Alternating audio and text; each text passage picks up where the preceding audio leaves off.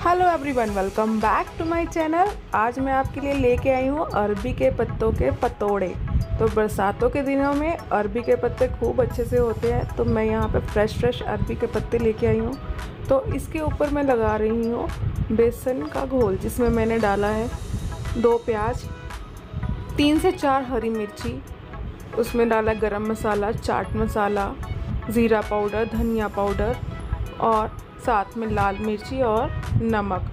तो इन सब चीज़ों को मिक्स करके मैंने बेसन का बैटर बना लिया था। अब हम एक पत्ते के ऊपर इसको अच्छे से कवर कर देंगे। उसके ऊपर हम दूसरी ऑपोजिट साइड में ऐसे करके हम पत्ता रखेंगे।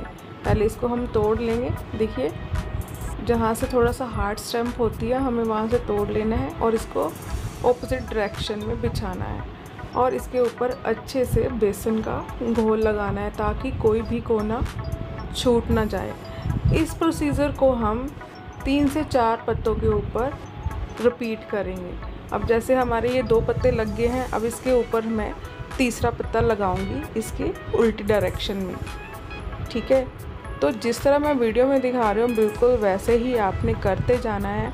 आपके जो पतोड़े हैं, वो बहुत ही टेस्टी बन के तैयार होंगे।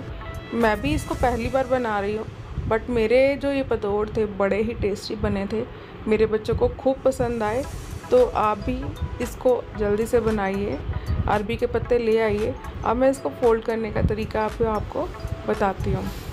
तो मैं जैसे आपको वीडियो में दिखा रही हूँ, पहले हमें इसके कॉर्नर्स को फोल्ड करना है, फिर उसके ऊपर हम बेसन लगाएँगे, फिर दूसरी साइड से इसको फोल्ड करेंगे हम लोग। तो उसके ऊपर भी हम बेसन लगाएँगे। फिर हम इसकी नीचे वाली साइड को थोड़ा टाइटली फोल्ड करते जाएँगे, जैसे हम स्प्रिंग रोल बनाते हैं ना। बिल्कुल वैसे ही इसको टाइटली फोल्ड करके हमें लॉक कर देना है।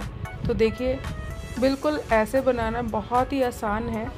तो आप बताइएगा कि आपके शहर में इसको क्या बोलते हैं। कई जगह पर इसको पतोड़ बोलते हैं कई जगह पर इसको पतीड़ बोलते हैं। तो आप बताइए आपके शहर में इसको क्या तो फ्रेंड्स यहाँ पे मैंने अपने कढ़ाई में पानी गर्म कर लिया है और इसके ऊपर रख दिया स्टील की छन्नी और उसमें रख दिया अपने पतोड़।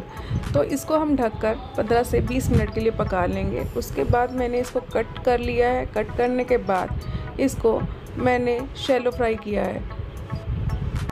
आप चाहें इसको स्टीम भी खा सकते हैं शैलो फ्राई भी कर सकते हैं और डीप फ्राई भी कर सकते हैं। जैसे आपको पसंद हो, बिल्कुल वैसे कीजिएगा। मैंने यहाँ पे सिर्फ़ शैलो फ्राई किए है। शैलो फ्राई करके भी ये बड़े अच्छे लगते हैं।